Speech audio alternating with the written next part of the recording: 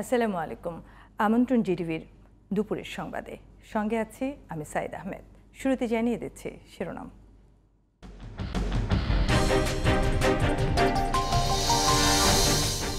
ঈদযাত্রার প্রথম দিনেই বিলম্বে ছাড়ল তিনটি ট্রেন। আগাম টিকিটের জন্য উপচে পড়া ভিড়।